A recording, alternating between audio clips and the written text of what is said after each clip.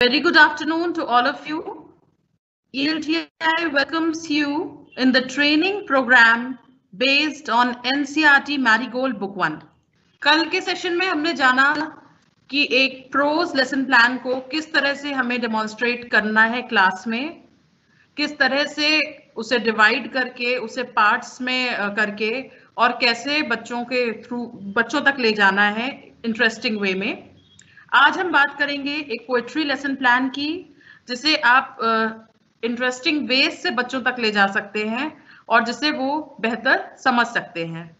Now we will discuss first the objectives of poetry और उसके बाद हम डिस्कस करेंगे कुछ steps of a poetry lesson plan The objectives of teaching a poetry lesson plan is enjoyment,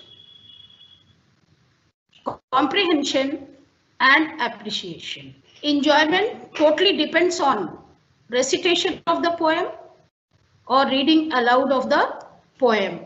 आप बच्चों को कितना अधिक इंजॉय करा सकते हैं रेसिटेशन के माध्यम से जब पोएम एक्शन और इंटोनेशन के साथ पढ़ी जाएगी तो बच्चे उसका आनंद लेंगे ये हमारा पहला ऑब्जेक्टिव होता है पोएट्री टीचिंग का और उसके बाद आता है how we are going to make them appreciate और make them understand the poem understanding maybe through comprehension question maybe through explanation of words और maybe through Hindi meaning this is how you can make them understand the poem and then comes appreciation appreciation of beauty of nature and the thoughts and the attitudes given in the poem or the theme of the poem. This is all we are able to help the child to understand or appreciate the poem. बच्चों में हम इन शब्दों के प्रति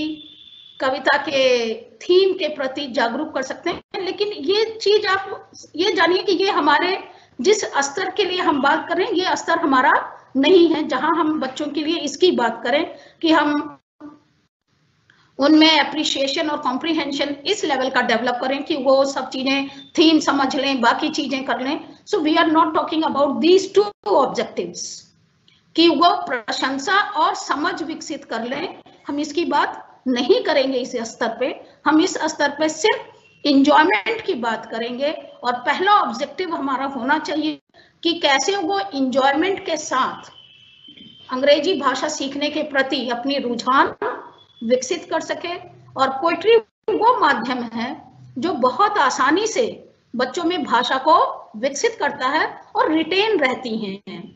अगर poetry के माध्यम से एक अच्छा एक्सप्रेशन दिमाग में रह गया तो वो यू कैन कोट एनीवेयर तो वो बड़े होते होते जो हमारा संग्रह है भाषा का, वो बढ़ता चला जाता है। तो पोएम एक सरल और इंटरेस्टिंग मेथड है, जिससे कि हम पोइट्री को पोइट्री से हम लैंग्वेज को डेवलप कर सकते हैं।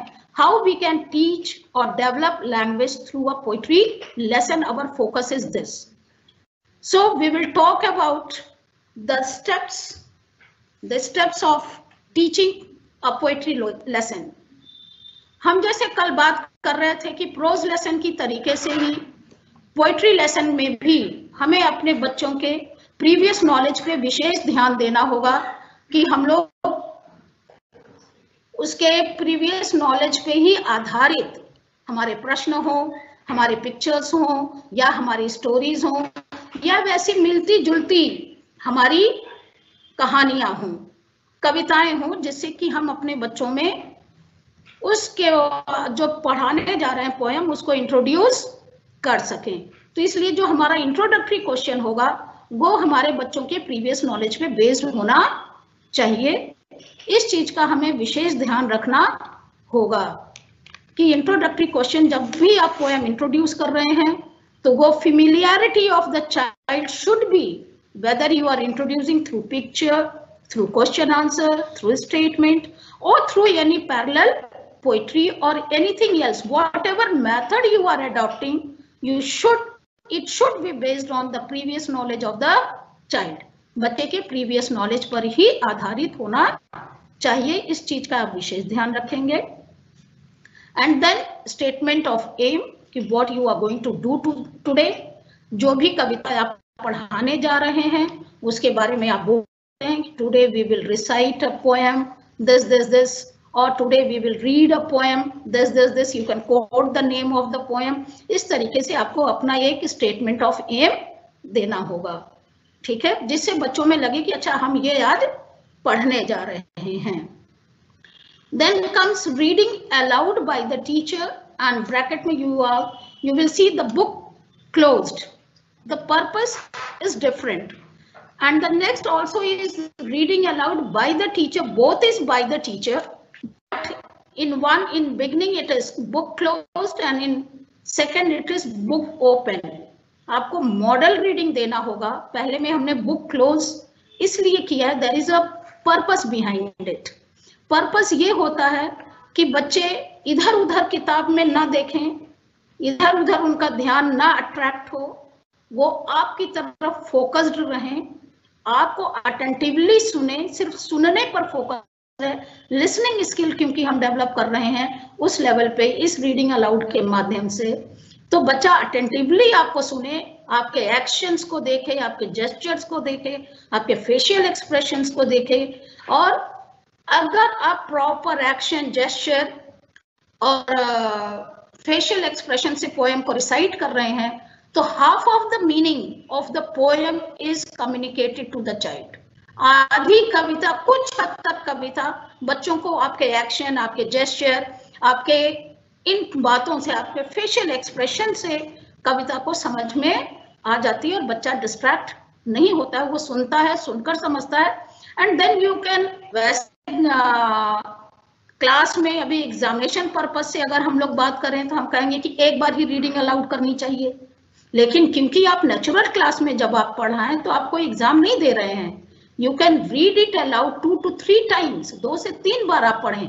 और बच्चों को एक दो बार पढ़ने के बाद फिर बच्चों से भी आप रिपीट करवा सकते हैं बुक क्लोज बच्चों की हम कोई कविता ऐसी पढ़ रहे हैं, हम सुन के बोल रहे हैं। तो दो है कि बच्चों का अटेंशन भी बढ़ेगा आपके प्रति लिसनिंग स्किल भी डेवलप होगी और सुनकर समझने की कोशिश करेंगे। एक कल हम बात कर रहे थे कि साउंड प्रोनाउंसिएशन में आपने सेशन में सुना होगा कि लिसनिंग स्किल जो होती है वो अटेंटिवली होनी चाहिए। एक हम पर्पसफुल लिसनिंग करते हैं, एक हम कैजुअल लिसनिंग करते हैं। तो यहाँ पे हमें पर्पसफुल लिसनिंग की भी हम बात कर रहे हैं कि वो बच्चा अटेंटिवली सुनेगा।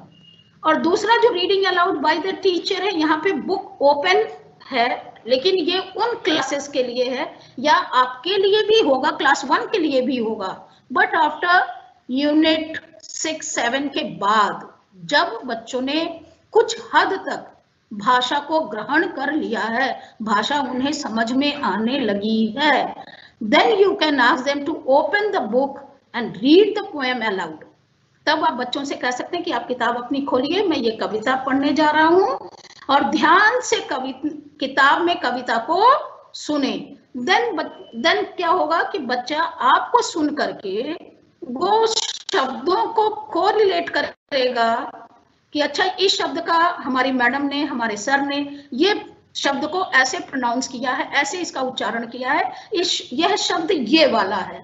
So the child when the book is open and is listening to you and looking into the book looking into the poem then he is following the poem with your voice and recognizing words and sentences and the rest of the things in the poem. तो इसीलिए reading aloud दो हैं by the teacher है but once the book is closed and once the book is open I think so difference आप लोगों को समझ में आ गया होगा। बुक क्लोज का क्या मतलब है और बुक ओपन का क्या मतलब है? यहाँ पे क्यों दो बार चीज़ें दी गई हुई हैं ऐसे? And whereas the thing is the same reading aloud by the teacher is same but once the book is closed and once the book is open and when you have made them enjoy दो से तीन बार repetition आपने करा लिया बच्चों को आधी कविता आपके रिपीटिशन से याद हो गई ज़ुबान पे आ गई उनके then you words words meaning बताइए रिपीट करते हुए पोएम को आप मीनिंग बता सकते हैं। एंड मीनिंग बताएँगे एक ही तरीके से नहीं बता सकते हैं। कभी आप एक्शन करके बता सकते हैं। कभी आप पिक्चर दिखा के बता सकते हैं। कभी आप ब्लैक बोर्ड पे स्केच बना करके बता सकते हैं। हिंदी मीनिंग दे करके बता सकते हैं। तो एक्सप्लेन करते हुए पोएम को, कठिन शब्दों को बताएँ। ड्रिल उसकी आप ड्रिलिंग भी करा सकते हैं। जैसे पहली पोएम अगर जो मुझे याद आ रही है कि हैप्पी चाइल्ड है तो हैप्पी चाइल्ड की जो स्टार्टिंग लाइन्स हैं my house is red a little house my house is red means मेरा घर कैसा है? रेड है। तो you can explain red means yes red लाल. तो ऐसे आप एक्सप्लेन करते हुए बच्चों को आप एक्सपोजिशन ऑफ़ डिफ़िकल्ट वर्ड्स करें उनकी ड्रिलिंग करा सकते हैं। अब लिटिल बोलना है जैसे लिटिल मीन्स ने बताया, हिंदी मीनिंग दिया बट लिटिल बोलना थोड़ा डिफ़िकल्ट है। तो आप बच्चों को दो से तीन बार इसकी ड्रिलिंग या प्रैक्टिस आप करवा लीजिए तो उन्हें लिटिल बोलना आ जाएगा। तो my house is red a little house इस तरीके से। तो उसके बाद आप, जैसे एक्सप्लेनेशन कर रहे हैं स्टंजा का वर्ड मीनिंग बताते हुए आप स्टंजा को एक्सप्लेन करिए and then you ask the simple questions related to the poem अब छोटे छोटे क्वेश्चंस हिंदी में पूछिए बिगनिंग में first second units your question में भी इन हिंदी उसके बाद आप ग्रेजुअली छोटे छोटे क्वेश्चंस जो बच्चों को समझ में आ जाए मिला जुला हिंदी इंग्लिश के मिले जुले प्रश्न, आप एक बार इंग्लिश में पूछिए, नहीं बच्चों को समझ में आ रहा है, आप वही प्रश्न हिंदी में पूछिए and then again go on with English उसी प्रश्न को। तो बच्चों को इस तरीके से बाइलिंगुअल अप्रोच से हम कॉम्प्रिहेंशन भी डेवलप करेंगे और उनसे छोटे छोटे उत्तर भी ले लेंगे। जैसे बच्चों को हमें यह लगेगा कि अच्छा वो कुछ हद तक पोएम समझे हैं, लेकिन हमें हमारा कॉम्प्रिहेंशन यहाँ बहुत मतलब नहीं है, क्योंकि फ़र्स्ट टू हमारे सिक्स यूनिट्स तक हम कल भी डिस्कस कर चुके हैं, अपने टीचर्स पेज में भी डिस्कस कर चुके हैं कि first six units are only for oral skill development तो हम सिर्फ़ ओरल स्किल की डेवलपमेंट करने की बात कर रहे हैं। बाद में। And then again chorus reading you can go on with the chorus reading बच्चों को खूब बुलवाइए, खूब रिपीट करवाइए। असाइनमेंट आप देख सकते हैं कि कविता याद करके आइए। है ना? बिगनिंग में तो आप यही दे सकते हैं, क्योंकि उन्हें अभी पढ़ना और लिखना बिल्कुल नहीं आता है। तो कि हाँ बच्चों, कल कविता याद करके आना, मैं सुनूँगा। कल हम लोग क्लास में सुनेंगे कविता को। तो हो सकता है कुछ बच्चे आपके याद करके आएँगे, किसी को दो लाइन याद होगा, किसी को तीन लाइन याद होगा। इस तरीके से आप क्या कर सकते हैं कि आप बच्चों को असाइनमेंट इस स्तर का दे सकते हैं। जैसे जैसे बच्चों की कॉम्पिटेंसी बढ़ती जाएगी, स्तर बढ़ता जाएगा। You can give the homework for reading and writing also लेकिन अभी हम बिल्कुल इसकी बात नहीं कर रहे हैं। डोंट गेट कंफ्यूज बिल्कुल कंफ्यूज नहीं होइए कि किस प्रकार का होमवर्क देना, पढ़ने लिखने वाला होमवर्क नहीं देना है। सरल से सरल जो बच्चे स्वतः कर सकें, ऐसी चीज़ें देनी है और जिसकी हमें खूब प्रैक्टिस करानी है। और जिस प्रकार से हम प्रोज में साइलेंट रीडिंग को स्किप करने की बात कहे थे, उसी प्रकार से आपको पोएट्री लेसन में भी, क्योंकि हमारा बच्चा स्वतः पढ़ने के लिए अभी बिल्कुल तैयार नहीं है तो साइलेंट रीडिंग हम स्किप करेंगे। साइलेंट रीडिंग के लिए हम कोई जगह इसमें नहीं देंगे। Gradually in class last units you can promote to some extent silent reading कि अच्छा पढ़ के बताओ, चुपचाप शांति पूर्वक पढ़ो और बताओ। क्योंकि साइलेंट रीडिंग का पर्पस होता है कॉम्प्रिहेंशन समझने के लिए होता है। तो अभी इस लेवल पे उनकी भाषाई समझ बिल्कुल नहीं है। शब्दों का ज्ञान, वाक्यों का ज्ञान, भाषा का ज्ञान नहीं है, इसलिए वो साइलेंट रीडिंग का पर्पस फुलफिल आपका नहीं होगा। That will be simply wastage of time इसलिए हम साइलेंट रीडिंग को यहाँ पर स्किप करेंगे। ठीक है? And now listen to a video you will know how you are going to teach a poetry lesson and how it is divided in how many days and what sh, should be your plan before going to teach a poetry lesson.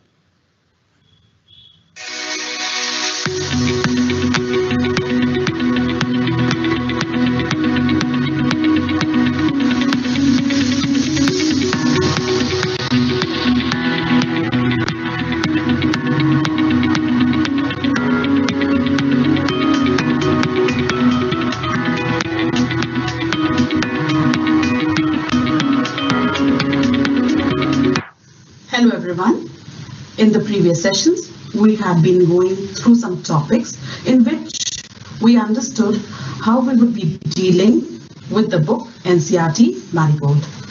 Now, today, we will be going through a demonstration lesson plan of poetry, that is the very first poem of the book, A Happy Child. So first, we will see the learning outcomes of a poem. Children will be able enjoy the poem. They will say the poem aloud. Children will enrich their vocabulary. वो अपना शब्द कोश पढ़ा सकेंगे They will follow simple instructions in English.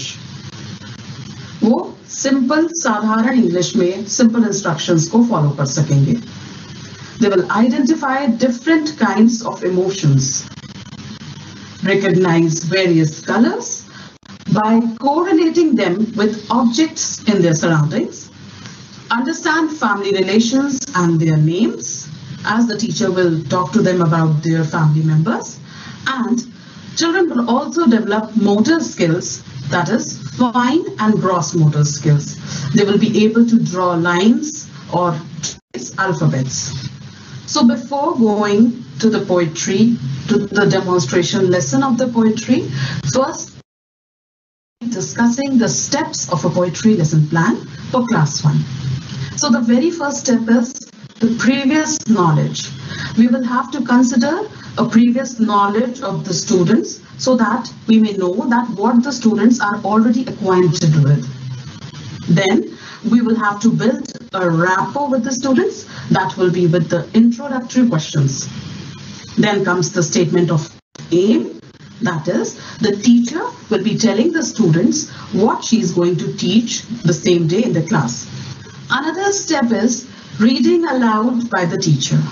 For the first time, it will be with the book closed and then again reading by the teacher, but with the book open. We have to always remember that whenever we go for a poetry lesson plan, we have to recite the entire poem and not the chunks. But while explaining, we will be reciting the sense group and then explaining them to the students. Then come exposition of difficult words. We will let the children know the meaning of difficult words. Then comes explanation of the paragraph or the lines that we have to explain in the class. And then comes the comprehension questions or the assessment. Not necessarily comprehension questions. They can be, assessment can be in many ways, in activity method, in playful ways. So not only questions, we can assess them in different areas also as given in the back of chapter. Then comes chorus reading. At the end of the session or the class, the teacher and the students will read the poem aloud and then comes the assignment. That is, the teacher will give some homework to the students. Now here is a note. We have to keep some things in mind. That is, a poetry lesson is expected to be completed within five to six days. Then silent reading is skipped at this level. Classroom teaching will be done on the above given plan. So the above given plan will be followed by the teachers and the steps which will alter each day are given below the chart. That is, only the steps which will alter day by day are given below and rest of the steps will be followed as above. Here one thing more is to be mentioned that when the teacher recites the poem for the first day in the class, she will be reciting the whole poem and then she will be taking the lines that she will be dealing with in the class. तो अब हम बात करेंगे पहले दिन की। हम पाँच से छह दिनों में पोएट्री लेसन को डिवाइड करेंगे और पहले दिन में हम पोएम की पहली दो लाइंस को ही एक्सप्लेन करेंगे, उनके डिफ़िकल्ट वर्ड्स बताएँगे और उनसे संबंधित असेसमेंट कराएँगे। तो सबसे पहले हमें ये जानना आवश्यक है कि बच्चे पोएम के लिए तैयार करेंगे। डे वन में जब हम क्लास में जाएँगे तो सबसे पहले हमें ये जानना ज़रूरी है कि बच्चे पहले से किन चीज़ों से एक्वाइंटेड हैं, किन चीज़ों को वो जानते हैं। जैसे कि उनकी प्रीवियस नॉलेज इस पोएम के संबंध में हम देख सकते हैं children know about colours children know about trees and house in their surroundings तो बच्चे कलर्स के से परिचित हैं, अपने आसपास के वातावरण में ट्रीज हैं हाउस हैं, उनसे परिचित है। और बहुत संभवतः वो ट्रीज पेड़ों को नाम अंग्रेज़ी और हाउस इन चीज़ों से भी परिचित होंगे। तो इंट्रोडक्टरी एक्टिविटीज़ हम तरह से करा सकते हैं। बच्चों के साथ रैपो बिल्ड करने के लिए हम उन्हें एक्टिविटीज़ के थ्रू चैप्टर जिस चैप्टर को हम पढ़ाने जा रहे हैं, उससे परिचित करा सकते हैं। यहाँ पे हमने कुछ क्वेश्चन आंसर्स दिए हैं डिवाइसेस के फॉर्म में। जैसे कि हम बच्चों से पूर्व में कुछ क्वेश्चंस पूछेंगे, उसके बाद हम पोएम पर जाएँगे। For example where do you live या आप कहाँ रहते हैं? बच्चे जवाब देंगे हाउस या फिर घर। या वो शैतानी में और भी आंसर कर सकते हैं। उसके बाद do you like love your house they will say yes, of course yes. What is the color of your house? बच्चों से पूछा जाएगा कि आपके हाउस का कलर क्या है। तो probably they will say red, green, yellow और एंड सो ऑन उसके बाद हम पूछ सकते हैं how do you feel in your house बच्चे जवाब देंगे हैप्पी खुश, और भी कई आंसर्स आ सकते हैं। Then the teacher will say yes children so today will study about a happy child generally बच्चे हैप्पी ही फील करेंगे हाउस में अपने। तो टीचर उनसे ये कहकर इंट्रोड्यूस करा सकती है। Today we will decide the poem a happy child so now there's also a note for the teachers. Teacher will recite the poem in sense groups. Yeah, chunks. That is the method for presenting a poem to make reading and understanding faster and easier. इसका मतलब teacher poem को छोटे sense groups में recite करेगी जिससे बच्चे उसे आसानी से समझ सकें then comes the reading aloud by the teacher. Now the teacher will be reciting the poem in sense groups with proper stress, rhythm, pronunciation, intonation and also ask the children to repeat after him. So for the very first time we will be reciting the whole poem. That is, my house is red, a little house, a happy child am I. I laugh and play the whole day long. I hardly ever cry. I have a tree, a green, green tree, to shade me from the sun. And under it I often sit when all my play is done. तो अब हम देखेंगे एक छोटी सी poem है हमारे unit eight में मैंने रैंडम कुछ पोएम्स ली हैं जिससे कि मैं थोड़ा सा एक्सप्लेन कर सकूँ कि आप क्लास में कैसे उसे पढ़ाएँगे क्योंकि आगे की पोएम्स का काफ़ी डिस्कशन पहले भी हो चुका है। तो मैं यूनिट एट की एक पोएम ले रही हूँ अ लिटिल टर्टल किसी भी पोएम को या कोई भी uh, किसी भी प्लान में हमें सबसे पहले ये डिसाइड करना होता है कि हमें uh, मतलब उसमें क्या बच्चों से बच्चों से हम किस चीज़ की उम्मीद कर रहे हैं। तो सबसे पहले आएँगे लर्निंग आउटकम्स ऑफ़ कोर्स जो कि टीचर का क्लास में जाने से पहले ब्रेन स्टॉमिंग का काम है कि हमें उस लेसन को पढ़ाने के बाद हमें क्या आउटपुट्स मिलेंगे बच्चों से। So the first word is students will be able to enjoy the poem which of course for quality which of course is the aim of the teacher then come say the poem allowed क्योंकि अब हम थोड़े से units के and में पहुँच चुके हैं, हमें सात आठ महीने हो चुके हैं पढ़ते हुए तो हम से द पोएम अलाउड बच्चों से एक्सपेक्ट कर सकते हैं कि वो पोएम को थोड़ा थोड़ा हमारे साथ बोल सकेंगे।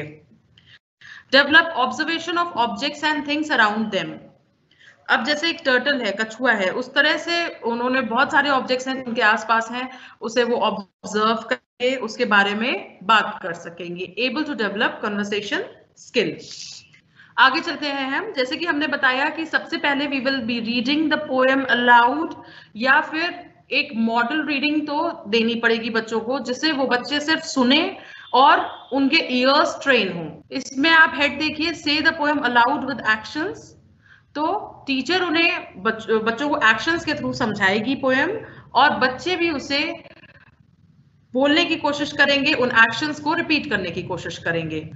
Am a little turtle I am a little turtle I crawl so slow I crawl so slow I carry my house wherever I go तो हम पहले भी मैंने देखा है कि कुछ लोग सेंस ग्रुप से कंफ्यूज हो रहे हैं। सेंस ग्रुप का मतलब उतने शब्दों को बोलना जिससे कि हमारी लय ना टूटे। और वो एक जो तारतम्यता है, वो बनी रहे।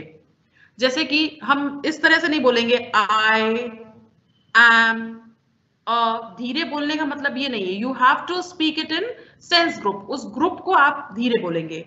I am a little turtle I crawl so slow I carry my house wherever I go. When I get tired, I put in my head, my legs, and my tail, and I go to bed. तो इस तरह से एक बार हम पहले उनको समझाएँगे poem का रेसिटेशन मतलब we will read the poem aloud secondly फिर हम उनसे बुक ओपन करके, क्योंकि अब ये एकदम लास्ट की यूनिट आ गई है, उनसे कहेंगे book open have your books open और उसके बाद फिर वो बोलेंगे। Then comes exposition of difficult words exposition of difficult words में कुछ लोगों को कंफ्यूजन थी कि ये न्यू वर्ड्स को हम कब इंट्रोड्यूस करेंगे। तो जैसे मान लिया हमने एक टुकड़ा लिया, एक हिस्सा लिया तो उसको हम उससे रिलेटेड जो भी डिफ़िकल्ट वर्ड्स हैं न्यू वर्ड्स में से भी उठा लेंगे कुछ और वर्ड्स भी बता सकते हैं। स्लाइड जैसे डे वन में जो हमारे इंट्रोडक्टरी क्वेश्चंस होंगे वो कुछ इस तरह होंगे। Name some animals that live on land कुछ ऐसे एनिमल्स के नाम बताइए जो रहते हैं जो केवल ज़मीन पर रहते हैं। मतलब आपके क्वेश्चंस कुछ भी हो सकते हैं। These are just a set of examples name some animals that live in water कुछ ऐसे एग्जाम्पल्स बताइए एनिमल्स के जो पानी में रहते हैं, सिर्फ़ पानी में। और इसके बाद name some animals that live on land and water both आप इसे बायलिंगुअल आराम से बायलिंगुअल पूछ सकते हैं। पहले हिंदी, फिर बायलिंगुअल फिर लास्ट में एक बार इंग्लिश में, जिससे कि बच्चा धीरे धीरे रिलेट करके समझ पाए। देन आप बच्चे को बताएँगे कि today we will go through the poem या आज हम चर्चा करेंगे पोएम अ लिटिल टर्टल पर। Reading aloud by the teacher उसके बाद हमारे डिफ़िकल्ट वर्ड्स हैं इसमें क्रॉल जैसे हमने पहले दिन हम एक ही स्टैंडा लेंगे तो क्रॉल स्लो कैरी ये सब ऑफ़ कोर्स टीचर एनैक्ट करके बता सकता है। जब भी हम डिफ़िकल्ट वर्ड्स को बताएँगे तो हम उनके मीनिंग्स के थ्रू बता सकते हैं, उनके ऑपोजिट्स बताकर उसको समझा सकते हैं या उसको एनैक्ट करके भी समझा सकते हैं। इसके बाद हम वो पर्टिकुलर स्टैंडा लेंगे और तब हम उसे डिस्कस करेंगे। Then in our day two name the little animal in the poem क्योंकि पहले दिन वो एक स्टैंडा पढ़ चुके हैं उस पोएम का तो अब वो परिचित हैं टर्टल से।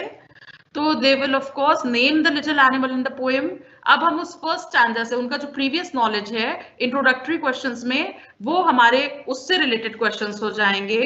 How does the animal crawls what does it carries on its back questions आपके चेंज हो सकते हैं क्वेश्चंस एक्टिविटी बेस्ड हो सकते हैं, आप किसी छोटी सी एक्टिविटी से शुरू कर सकते हैं, किसी छोटी सी कहानी से शुरू कर सकते हैं। तो इस तरह से आप इंट्रोड्यूस वो तो खैर डे वन की बात है इंट्रोड्यूस आप किसी भी तरह से कर सकते हैं। Then comes our statement of aim कि अब हम अपनी बची हुई पोएम के बारे में बताएँगे। और डिफ़िकल्ट वर्ड्स में अगेन हम यही इनको लेंगे डिफ़िकल्ट वर्ड्स जो भी हैं। देन हम यहाँ पर ये देख रहे हैं कि हमारे पास, क्योंकि हमारे बुक में भी एम्पल एक्सरसाइजेस हैं day three four five and six में, देखिए। जैसे कि रीडिंग इज़ फन अब अगर आप ये कंफ्यूज हो रहे हैं कि हम जब अपना लेसन पढ़ाएँगे तो हम कैसे एक्सरसाइजेस को डिवाइड करेंगे या किस तरह से एक्सरसाइजेस को लेंगे तो यहाँ पर हमारे जो न्यू वर्ड्स हैं, वो हम उनको लेसन के साथ में डील करते चलेंगे। उसको समझाते हुए हम लेट्स रीड में कुछ सेंटेंसेस बनवाएँगे, उनको बच्चों से पढ़वाने की कोशिश करेंगे। और रीडिंग इज़ फन में जो भी क्वेश्चंस हैं, जो बच्चे ने पार्ट में पढ़ लिए हैं, उनसे संबंधित क्वेश्चन उतने क्वेश्चन डील करते चलेंगे डेली इसके बाद तीसरे दिन हम ये समझेंगे कि हमारा क्योंकि पोएम बहुत ही छोटी ही होती है तो दो से मैक्सिमम तीन दिन में आपकी पोएम खत्म हो जाएगी। एक चीज़ आपको ध्यान रखना है कि जब भी आप मॉडल रीडिंग या रीडिंग देंगे तो आपको पूरी पोएम रीड अलाउड करनी है, ना कि सिर्फ़ उतना ही जितना आप एक दिन में एक्सप्लेन कर पा रहे हैं या और कुछ। तो इसलिए आपको जितनी, जब भी आप रीड अलाउड पोएम की रीडिंग जब भी करेंगे तो आपको पूरी पोएम एट वंस रीड करनी है मतलब एक बार में रीड करनी है। आपको उसको टुकड़ों में नहीं रीड करना है। देन कम्स लेट्स टॉक दो से तीन दिन के बाद जब पोएम पे डिस्कशन खत्म हो गया है, तब हम आएँगे लेट्स टॉक पर। लेट्स टॉक में आप थोड़ा सा जैसे अब आप टॉपिक तो टर्टल और या फिर क्रीचर्स स्मॉल क्रीचर्स ही लेंगे लेट्स टॉक में, बच्चों से चर्चा परिचर्चा करेंगे। What is the turtle's house called जब आप बच्चों से इस पर चर्चा करेंगे तो बच्चे ऑफ़ कोर्स बताएँगे। उसके बाद आप उनसे और एनिमल्स और उनके हाउसेस के बारे में भी डिस्कस कर सकते हैं, जिसके बारे में उनको पहले से पता होगा या नहीं पता है तो अब उन्हें उसकी नॉलेज हो जाएगी। तो इस तरह से आप उन्हें और एनिमल्स को उनके हाउसेस के बारे में बात कर सकेंगे। उसके बाद what other reasons can you give for a turtle going into a house इस तरह से वो एनालाइज कर पाएँगे कि एक टर्टल कब कब अपने शेल के अंदर चला जाता है तो they will be able to think उनकी थिंकिंग को स्टिमुलेट करने के लिए हम कुछ क्वेश्चंस पुट करेंगे।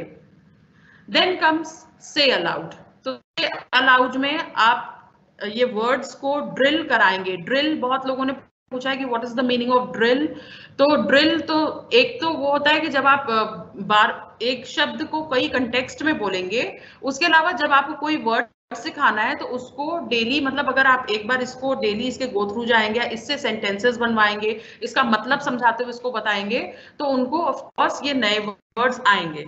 उसके अलावा आप यहाँ पे लैंग्वेज गेम्स के माध्यम भी से भी को समझा सकते हैं। जैसे मान लिया कि आपने ब्लैक बोर्ड पर A T O T U P ये तीन वर्ड्स लिख दिए हैं और कुछ फ्लैश कार्ड्स कई लेटर्स के बना दिए हैं। तो they will match the first word और फिर वो उन्हें लगाएँगे। इस तरह से गेम्स के माध्यम से भी वो अच्छे से लर्न कर सकेंगे।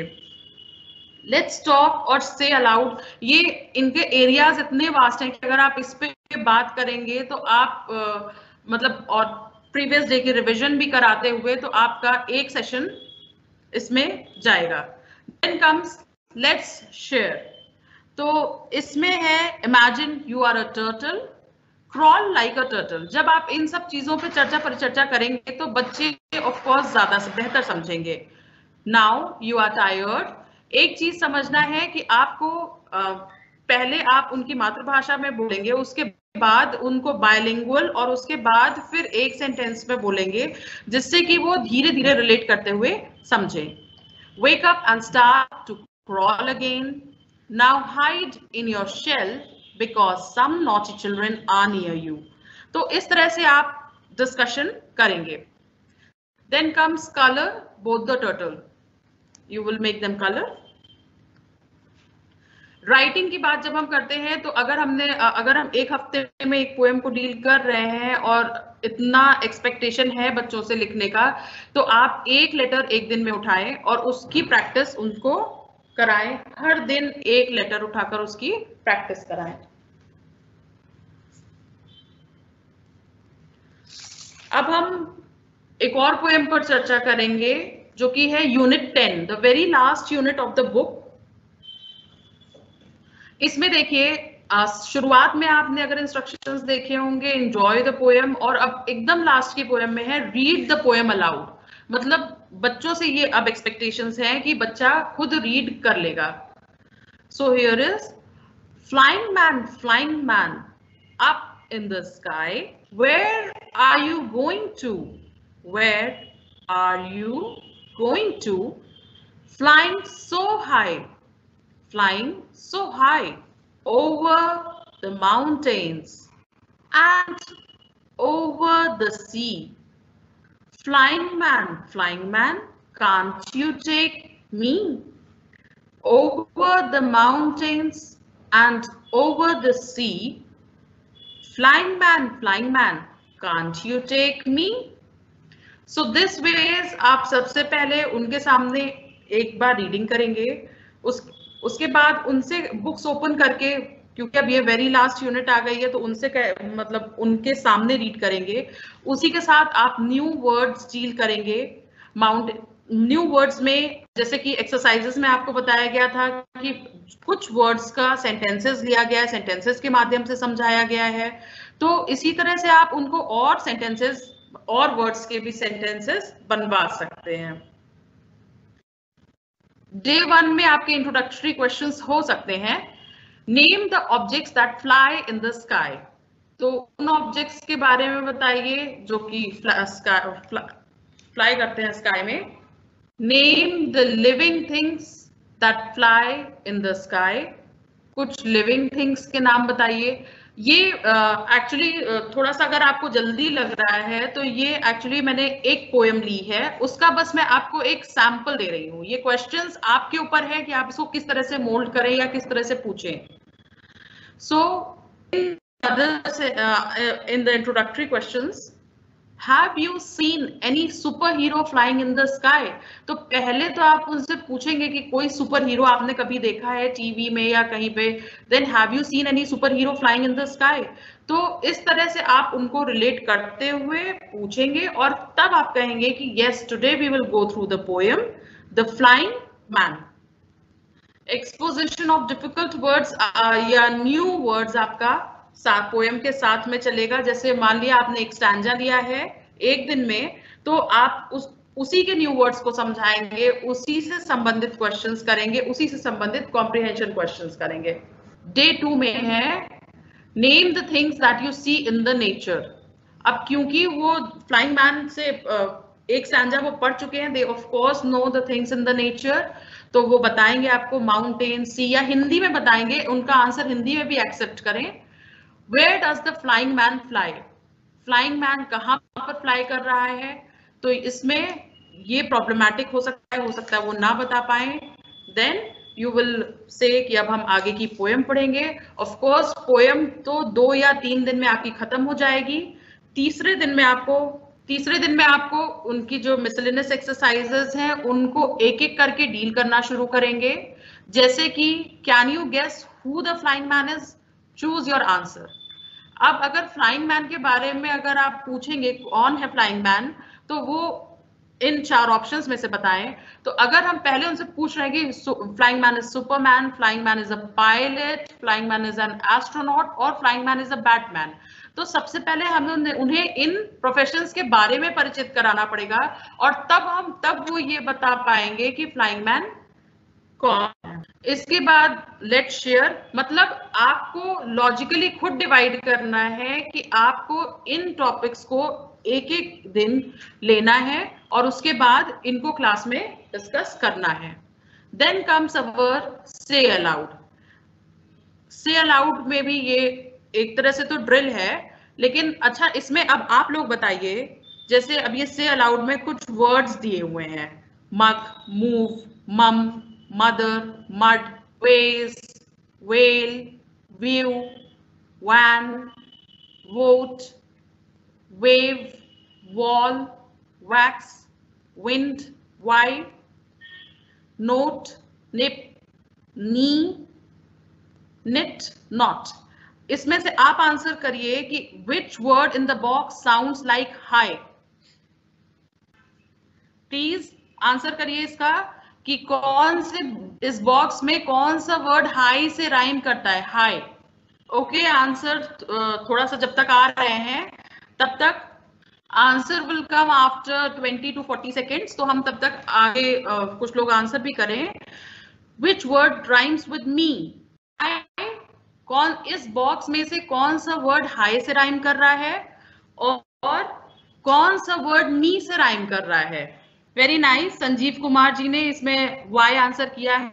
हाई राइम्स विद वाई और मी मी का राइम अगर प्रोफेशंस की बात कही जाए तो हम इन सारे प्रोफेशंस के बारे में पहले बच्चों को बताएँगे या उनको कोशिश कराएँगे मतलब पिक्चर्स से पिक्चर्स से लाइंस ड्रॉ करने की. A person who sells in a ship is an seller a seller तो उसको बताएँगे भी, थोड़ा सेलर के बारे में डिस्कस करेंगे तो इस तरह से हम ये देखेंगे कि एक कैसे हम डिफरेंट प्रोफेशंस को डील करेंगे। ये हमारी, क्योंकि एकदम टेंथ यूनिट है तो यहाँ पे हमारा लेवल थोड़ा सा बढ़ गया है।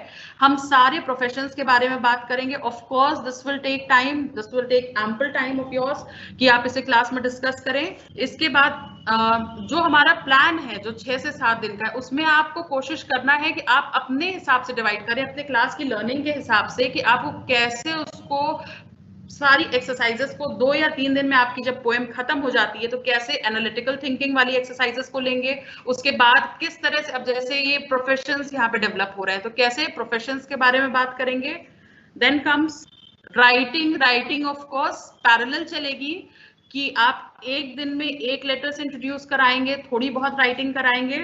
और यहाँ पर क्योंकि ये टेंथ यूनिट है तो ये हमारी एक्सपेक्टेशन है कि बच्चा A to Z completely trace कर लेगा और लिख लेगा। तो अब आपने देखा होगा कि इस बुक में लिखने पर और ओवरऑल ए टू जेड का ही ज़ोर है, जो कि हम अभी तक करते आए हैं। बस इसमें चीज़ें बताने का तरीका अलग हो गया है, सिखा हम पहले जैसा ही सब कुछ रहे हैं बट हमारा अप्रोच बदल गया है। Okay now assignment make a poetry lesson plan from Marigold कोई पोएट्री उठाए मैंने इसमें आपको आ, मैंने आपको तो लॉजिकली बता दिया है ऐसे ही कि आपको कैसे छह दिन में एक प्लान को आपको एक दिन का प्लान आप कोई भी पोइट्री उठाएँ एक दिन का प्लान आप बनाएँ कि आप उस जब उस पोइट्री को लेकर जाएँगे तो आप किस तरह से एक दिन में कितना चंक लेंगे, किस तरह से उसको एक्सप्लेन करेंगे, कौन से वर्ड्स लेंगे और कौन सी एक्सरसाइज उसमें डील करेंगे। ऑफ़ कोर्स जो ये लेट स्टॉप या लेट शेयर एक्सरसाइज है, ये बच्चों को थोड़ा सा थिंक करने को मोटिवेट करती है। तो ये जब आपका लेसन खत्म हो जाए, दूसरे या तीसरे मतलब पोइट्री आपकी जब खत्म हो जाए तो दूसरे या तीसरे दिन ही इसको लें। Thank you for listening to the session